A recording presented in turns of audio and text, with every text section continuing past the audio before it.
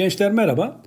3 hamlede matematik projemizin 2021 AYT matematik sorusunu yani integral sorusunu çözeceğiz bugün. Tabi o soruya kadar olan bir kısımlarda 3 tane hamleyi anlatacağım. Birincisi integral. Gençler integral, integral denildiği zaman aklınıza ne gelir? Alan gelmesi gerekir. Unutmayın alan. Çünkü neden? Örneğin bir dikdörtgen düşünün.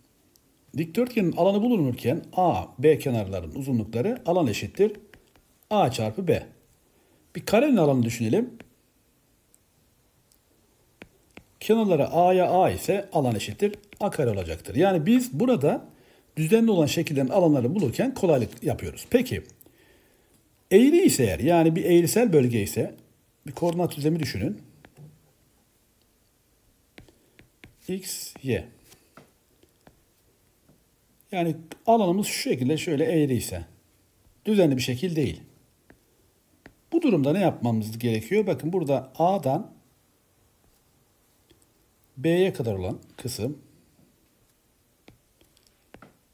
buraya S alanı diyelim. Burayı bir boyayalım önce. Bakın şu boyalı kısmın alanı lazım bize. Dikkat edecek olursanız kenarları düzenli değil. Fonksiyonun adı f olmak üzere yani şu fonksiyona f diyelim. S alanı eşittir integral a'dan b'ye kadar fx dx formülüyle bulunur. Peki bu hamlelerde kullanacağımız diğer nokta eğer iki tane grafik içerisindeki eğrisel alanlarsa yani şu şekilde bir f fonksiyonumuz var. Bu bir de yeşil kalemle yapalım. Bir de g fonksiyonumuz olsun.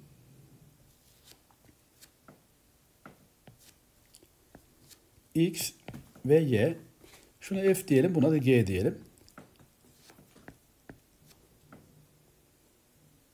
Şurada a, şurada b var. Bakın arkadaşlar şuradaki arada kalan S alanı. Orayı yine boyuyorum ki görsellik önemli biliyorsunuz. Görselliğe değer veriyoruz. Şu alan S alanı eşittir.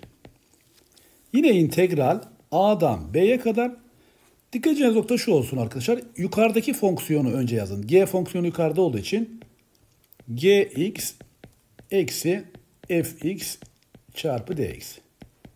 Burada yanlışlıkla fx eksi gx yazsanız da bir mahsuru olmaz. Negatif çıkacaktır. Alan negatif olamayacağı için zaten siz onu pozitif olarak alırsınız arkadaşlar. 2.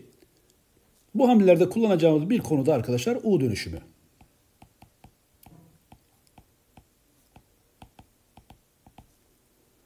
Bir soruyla yürüyelim. Bakın Arzu'nun arazisi aşağıdaki gibi modelleniyor.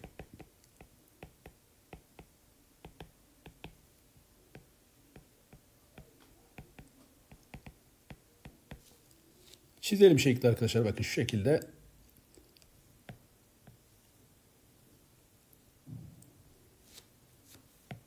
Burası orijin. Arazi engebeli bir şekilde buradan başlamış. Bu şekilde burada bitmiş. Buraya 4 birim. Buraya da 16. S alanında burası arkadaşlar. X ekseni, Y ekseni. İntegral 1'den 4'e kadar f 4x çarpı dx eşittir 10 ise arazi kaç dönümdür?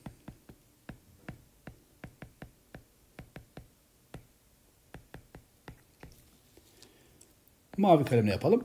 Şimdi arkadaşlar dikkat edecek olursanız o S alanı bir boyayalım yine. Bakın şöyle güzel bir arazi düşünün. Yemyeşil. Şu şekilde bir arazi. Peki. S eşittir. Soru işareti. S'yi bulmadan önce bakın burada dikkat edecek olursanız burada 4x var. F4x. O yüzden 4x'e u diyelim. Her iki tarafın türevini alalım. 4 çarpı dx eşittir du.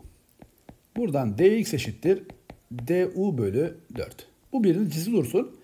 Bir diğer konuda arkadaşlar ne yapıyorsunuz? Aralıkları değiştirmeniz lazım. Yani x eşittir 1 için u eşittir 4. x eşittir 4 için u eşittir 16. Artık integralimizi bulduk. Bakın şu boşluğu değerlendirelim gençler. Şuradaki boşluğu değerlendirelim. Bu soruyla karışmasın.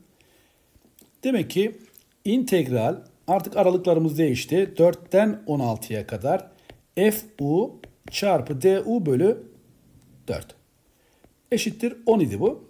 İse 4'ü diğer tarafa çarpı olarak atalım. İntegral 4'ten 16'ya kadar fu çarpı du eşittir 40. Peki yukarıdaki anlatıma dikkat edecek olursanız arkadaşlar integral 4'ten 16'ya kadar fu du s alanı vermekte. Bu durumda s alanı eşittir 40 dönümdür.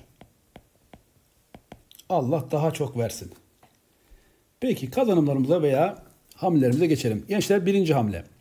K pozitif bir gerçel sayı olmak üzere dik koordinat düzleminde y eşittir k doğrusu ile y eşittir fx fonksiyonunun grafiği verilmiştir. Şekilde y bölgesinin alanı x bölgesinin alanından 6 birim kare fazladır. Zaten şekil üzerinde görüyorsunuz arkadaşlar. İntegral 1'den 3'e kadar f 3x dx eşittir 36 olduğuna göre k değeri kaçtır? Arkadaşlar verilenlere bakın şöyle basamak basamak yazalım. 1. Ne verilmiş bize? y eşittir x alanından 6 birim kare fazla. x artı 6. Bunu şöyle bir bulut içine alalım. Yeşil bir bulut olsun. Peki 2. Gençler bakın burada şu 3'ten 9'a kadar olan kısım şu parça 6 birim. E burası da k birim. O zaman şuraya s diyelim şu parçaya. x artı s alanı eşittir 6 çarpı k. Bunu da yine bulut için alalım. 3. Bir de arkadaşlar integral verilmiş bakın burada. Yani 3x'e u diyeceğiz. 3x eşittir u ise 3 çarpı dx eşittir du olacak. İse dx eşittir du bölü 3. Aralıkları değiştirelim. x eşittir 1 için u eşittir 3. x eşittir 3 için u eşittir 9'dur. Yazıyorum artık siyah kalem yazalım bunda.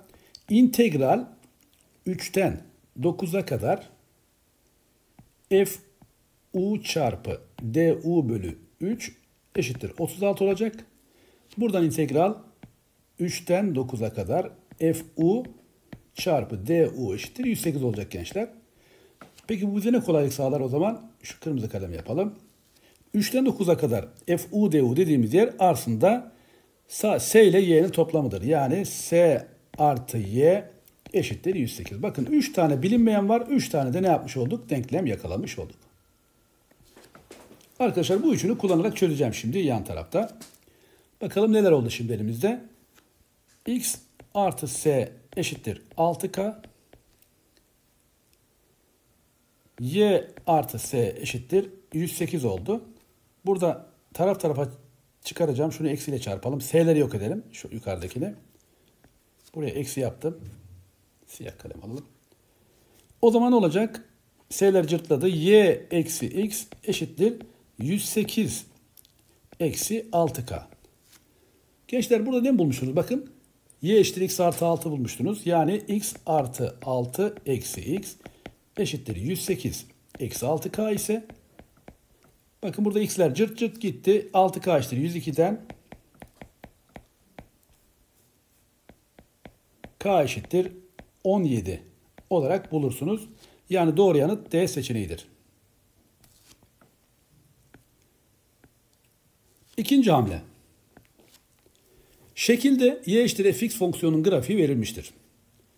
Eksi 6'dan eksi 5'e kadar f türev x artı y çarpı dx eşittir s kare eksi 4 s eksi 60 2'den 8'e kadar fx dx eşittir 8, s. Yukarıdaki verilere göre s kaç birim karedir? Arkadaşlar burada dikkat edeceğiniz nokta şu olsun. 0 ilki kapalı aralığındaki fonksiyon sabit fonksiyonmuş. Bakın zaten gözüküyor şekil üzerinde ama onu da yine kullanacağım çünkü. Yine bir basamak basamak gidelim. 1. İntegral eksi 6'dan eksi 5'e kadar f türev x artı 7 çarpı dx eşittir s kare eksi 4 ise eksi 60 olarak verilmiş idi. F türev olduğu için hemen integral olarak çıkacak. fx artı 7 integral eksi 6'dan eksi 5'e kadar eşittir. s kare eksi 4 ise eksi 60. Bu durumda neler olacak bakın şimdi. Eksi 5'i yerine koyun f2. Eksi eksi 6'yı yerine koyun f1. Eşittir s kare eksi 4s eksi 60 olacak. Arkadaşlar f2 ile f1 aynı noktaya gelmiş olacak. Çünkü şu nokta hani sabit fonksiyon olacağı için burasına mesela a deyin. F2 daha olacak, F1 daha A olacak. Dolayısıyla götürecek burası. Yani bu arkadaşımız şöyle komplece sıfır olacak. Yani S kare eksi 4 S eksi 60 eşittir sıfırdan. Buradan sadeleştim. Daha doğrusu çarpanlara ayıralım. S eksi 10 çarpı S artı 6 eşittir sıfırdan. S eşittir. Burada 10 gelir. Bir de S eşittir eksi 6 gelir ama alan negatif olamayacağı için gençler S eşittir eksi 6. Alan negatif olabilir mi? Hayır hocam dediğinizi duyuyorum buradan. Bravo. Şunu şöyle yapalım. Bana ne soruyor zaten? 0-2 aralığındaki fonksiyon sabit olduğuna göre S kaç birim karedir diyor. Demek ki 10 birim kare yani doğru yanıt B seçeneğidir arkadaşlar. Üçüncü hamle. Gençler zaten amacımız neydi? Üçüncü hamle yani 2021 ayetli matematikte çıkmış integral sorusuna yönelik hamlelerle güçlendirmekti. Dik koordinat düzleminde fx eşittir x kare eksi 2x, gx eşittir eksi x kare artı 4x fonksiyonların grafikleriyle x eksen arasında kalan boyalı bölge aşağıdakiler aşağıda verilmiştir diyor. Zaten şekil üzerinde görüyorsunuz arkadaşlar. Sarı renkli boyanmış. Buna göre boyalı bölgenin alanı kaç birim karedir diyor. Gençler burada birincisi şu kesişim noktasını bulmak zorundasınız. Bakın basamak basamak gidiyorum yine. Bir, fonksiyon grafiklerinin fonksiyon grafiklerinin kesim noktasını bulalım. Nasıl bulacaksınız diye sorsam hep bir ağızdan ortak çözümle dediğinizi duyuyorum. Yani arkadaşlar ikisi de y eşit olduğu için sol taraflar y sağ taraflar eşit olacak. x kare onu siyahla yazalım şöyle şık dursun. x kare eksi 2x eşittir eksi x kare artı 4x ise buradan gençler x kare eksi 6x yok 2x kare özür dilerim elim sürüştü 6x eşittir sıfırdan Burada arkadaşlar 2x parantezini aldığınız zaman x eksi 3 eşittir 0. Bir tane 0 çıkıyor. Zaten 0'da bakın burada kesiştikleri gözüküyor. Diğeri demek ki x eşittir 3 imiş. Bunu yeşil renkle boyayalım gene şöyle. Peki. 2 diyorum gençler artık alana geçebiliriz. Bakın artık burayı ne bulmuş olduk? Kesim noktasını bulmuş olduk. Şu parçayı şöyle aşağı doğru ineyim. Yani burası 3'müş. Peki boyalı alana geçelim şimdi. Bakın boyalı alanı şöyle yapabilirsiniz. Şimdi birincisi integral sıfırdan 3'e kadar gençler hangi fonksiyonun grafiği o alanı olacak? Sıfırdan 3'e kadar bakıyorum şimdi. Şu fonksiyon. Yani eksi x kare artı 4x dx dersek biz sıfırdan 3'e kadar olan alanı bulmuş oluyoruz. Bunu integralle alalım. Eksi x küp bölü 3 artı 2x kare Sıfırdan 3'e kadar bunu siyahla yazalım. 3 yazın 27 9 oluyor arkadaşlar. Eksi 9 3 kere 3 9 artı 18'den. Buradan biz 9 bulduk. Peki diğer alanda bulalım. Onu da kırmızı kalem yapalım. 2'den 3'e kadar gençler bu defa. 2'den 3'e kadar hangi integral alanı? x kare eksi 2x fonksiyon alanı. x kare eksi 2x çarpı dx. Yine integralini alalım bunun. x küp bölü 3 eksi x kare. Yine 2'den 3'e kadar yazdım. Yine siyah kalemle yapalım. 3 koyun 27, 25 9. 3 kere 3 9 götürecek 0. Eksi aç parantez. 2 kere 2'nin kübü 8 bölü 3. Eksi 4. Gençler bakın sizle beraber çözüyorum. Görün bunu. 12 eksi 4 bölü 3 artı 4 bölü 3 de buradan gelecek. Yani 4 bölü 3 birim karede buradan gelecek. Yani şu küçük parça onu anlatmaya çalışıyorum gençler. Şu küçük parça 4 bölü 3 birim kare olarak yakaladık. Peki boyalı alan diyor. Onu da şöyle afili bir boyalı alan diyelim. Boyalı alan. Peki. Nedir o zaman? S diyelim ona. S eşittir. 9 eksi 4 bölü 3 olacak. S eşittir. 3 kere 9 27. 4 çıkartın. 23 bölü 3 birim kare olarak bulursunuz. Yani doğru yanıt E seçeneğidir arkadaşlar. Gençler bugünkü 3 hamlede AYT matematikte integralle alan bulma ile ilgili soruları anlatmaya çalıştım. Hamlelerle kavratmaya çalıştım. Şunu bilin integral bir sayfada anlatılacak bir konu değil. Ben sizlerin bu konuya az çok vakıf olduğunuzu, konularını bildiğinizi düşünerek anlattım. Bundan sonraki 3 hamlede AYT matematikte görüşmek üzere. İyi çalışmalar, başarılar.